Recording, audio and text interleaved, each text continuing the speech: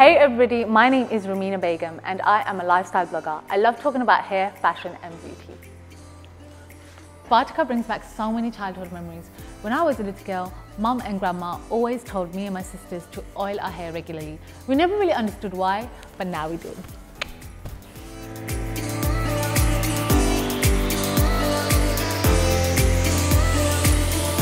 As you all know, I come from a South Asian family and the hair oiling ritual is a necessity and we grew up using Vatika coconut oil.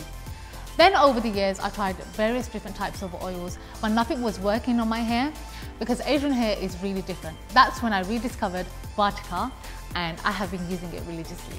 It's loaded with natural ingredients and herbs. Almond, castor, garlic, olive, you name it, they have it. I believe it is very important for you to feel good as well as look good and Vatika makes me feel extremely good. These miracle oils are made of 100% natural oils with no nasties. Vatika has a solution for every hair problem and every hair type. So guys, I use the Vatika black seed oil in particular and it smells absolutely amazing. I love the way this makes my hair feel. It looks so soft, so luscious and so silky. I get so many compliments on my hair and it's all because of this one magic oil.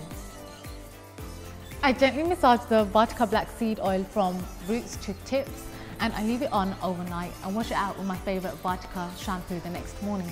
Vatika is my little secret. If my hair slays, then so can yours.